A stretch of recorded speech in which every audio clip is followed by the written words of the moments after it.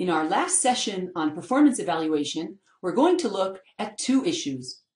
One of them we started talking about just at the end of the last session, and that is what happens if our training sample is different from the population where we'll be deploying the algorithm.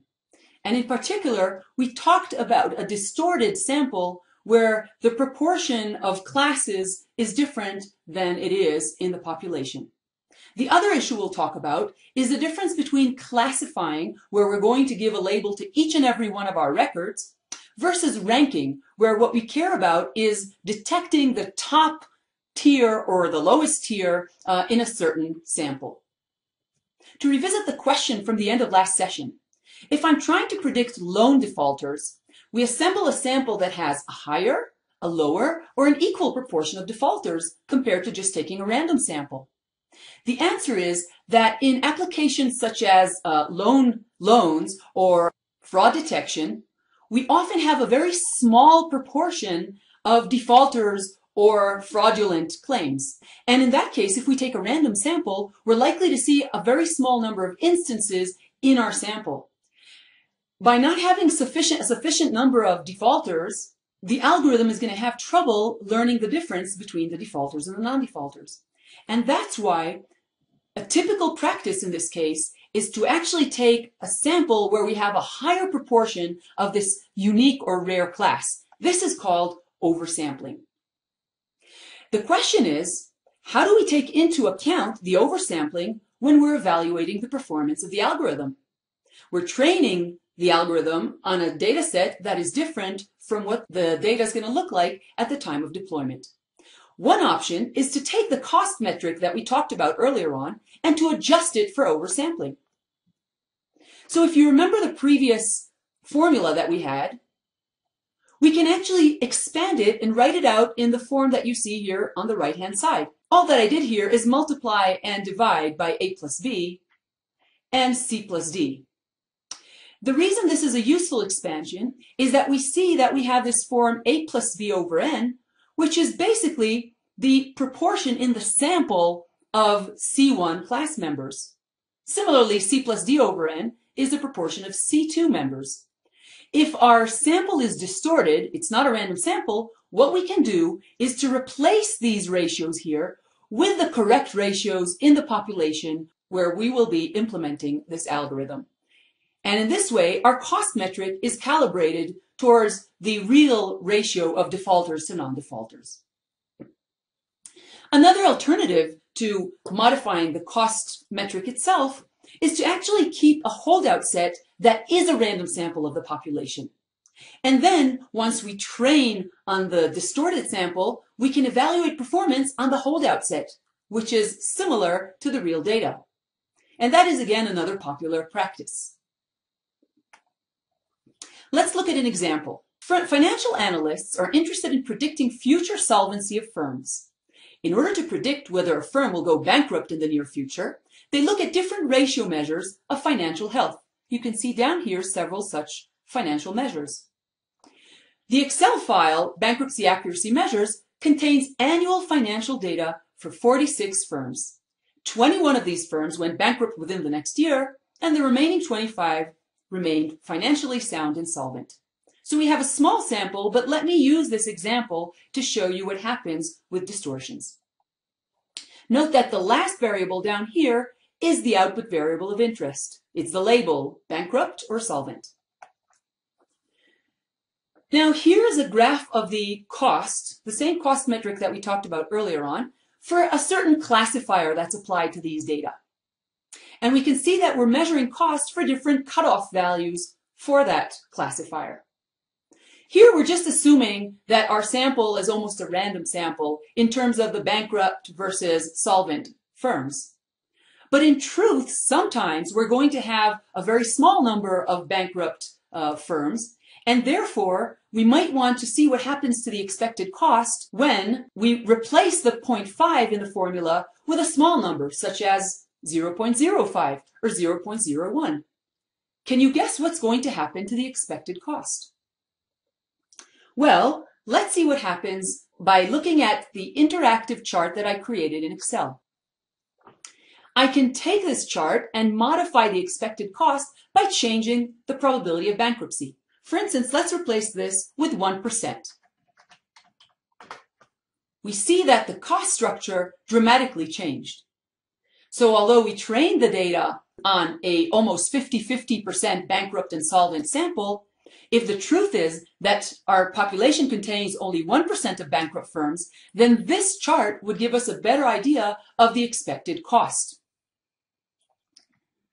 Similarly, we can also think about modifying the costs, the costs of misclassifying a bankrupt firm as a solvent and the other way around.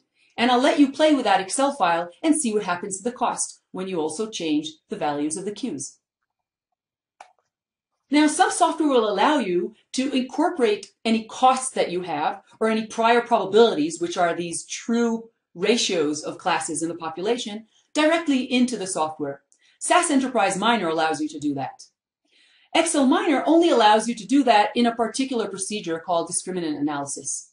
However, whether the software includes it or not should not keep you from computing um, or taking those costs and prior probabilities into account. You've seen that it's not too difficult to integrate these costs into, into the cost measure. And you should always do that um, in order to evaluate performance when you have costs or when you have a sample that is not representative of your population. The second issue we'll look at is comparing the task of classifying with the task of ranking or predicting the top tier. What's the difference between the two? Well, let's consider this little example that we had before. Let's say we have a thousand new microfinancing projects and we're trying to classify for each and every one of them which one will succeed and which one will fail. This confusion matrix, if it's based indeed on a holdout set, would give us a good idea on the performance on future data. However, what if I'm interested in something else? I want to detect the 10% of projects that are most likely to fail. In that case, this confusion matrix is not going to be helpful at all. And sometimes ranking the projects and finding the ones that are most likely to fail or succeed is really what we're after. So first of all, this means that we have to define very carefully our objective before we even determine which performance measures are appropriate. In the firm bankruptcy example that we had earlier on, if we had a classification task, for example, we would be interested in classifying for a new group of firms which firm would go bankrupt and which firm would go solvent. We'd be interested in all the predictions for this new data set. In contrast, if we were interested in a ranking objective, then we'd ask ourselves, for instance, which are the firms, or the 10% of firms, or the top 5 firms that are most likely to go bankrupt? Go back to the objective always and ask yourself which one of these are you trying to address. Based on that, go and choose your performance measures. When we're interested in ranking, we're going to use a different type of performance measure, and actually this is going to be a chart. These are called lift charts, also known as gain charts, and what they do is they measure the classifier's ability to detect the top tier or the bottom tier. We're going to have a benchmark here, which is just random choice. So think of direct marketing, where you're trying to identify the customers who are most likely to benefit from some offer. You're going to compare your algorithm compared to a random choice where you just choose, say, any 10% of your customers. So let's look at the lift chart. The lift chart is the chart here on the left and what we do is we compare the benchmark, which is the pink line, the diagonal line, which is the random choice, to our algorithm's choice. This is what the algorithm tells us to do. Now, to show to you what the algorithm actually does, let's look at how the lift chart is constructed. So what we do is, first of all, we're going to take all our records and we're going to sort them from the most likely to the least likely according to their probabilities. And remember, the probabilities are created by the particular classifier that you chose. Now, what's an ideal classifier? In this case, we had 21 firms that went bankrupt. So the ideal classifier would allocate the highest probabilities to the 21 bankrupt firms and then the lower probabilities to all the other firms. The next step is actually moving into accumulating these numbers, the ones and the zeros.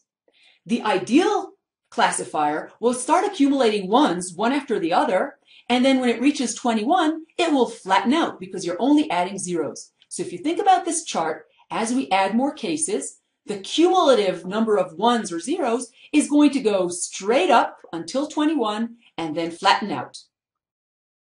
When we look at a classifier, it usually won't be perfect. So in our example, you see that the, the first five records are correctly classified as bankrupt, but the sixth one is mistakenly classified as solvent. If we look at the chart, we see we're climbing up for five records and then we flatten out by mistake. And then we keep going and everything's correct, but we do make errors once in a while. So the lift chart here is reflecting how well this particular classifier is able to detect these bankrupt companies and ranking them correctly. I can also use an additional paired chart, which is called the decile chart. XLMiner gives these as a pair that helps me divide this space, these number of cases, into 10% buckets, into deciles. And why this helps me is it shows me how much I gain by using my classifier over just random choice. So for instance, if I take the first 10% here, which is the first bar here, I see that I'd be doing twice as well by using my algorithm compared to just random allocation. If I use the next 20%, then I'm gaining less. I'm gaining less than one and a half times. And obviously, you could see at the end that if I choose the very end here, I'm not going to be doing very well by picking the firms that went bankrupt. The last thing I'll add about lift charts is that we can also incorporate misclassification costs. And to do that, what we'll have to do is simply replace these actuals, we'll have to multiply them by their costs. There's a lot more detail in the textbook that you can check out, and there's also an example in the Excel file. So to summarize classification performance, first of all, we have to detect whether our goal is profiling or classification, because that will determine how we evaluate performance. Are we looking at the training? Are we looking at the validation? We also have to determine, even if it's a predictive task, whether we're trying to classify all the new records or we only care about ranking the top tier. How do we summarize performance? Well, in a classification or profiling task, the confusion matrix is the main tool. We can construct all kinds of metrics based on those numbers in the confusion matrix, but always present the confusion matrix. Remember also that the cutoff is going to affect the confusion matrix. So by changing the cutoff, and that is something that you can do interactively in XLMiner, you can also gain different numbers for the confusion matrix. We talked about sensitivity and specificity and the ROC curve as measures that are useful when we have one category that's more important than another. And finally, we talked about lift charts when the goal is ranking. Make sure to choose your performance metrics correctly. Don't just run everything and report everything because some of these performance measures are inadequate or a mismatch with the objectives that you set up front. Finally, we also talked about um, issues when we have one class that's more important than the other.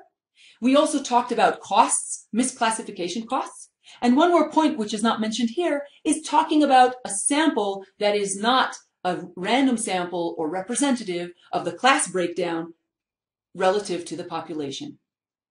Keep all these in mind when you're going to evaluate all the different classifiers that we use in the next sessions.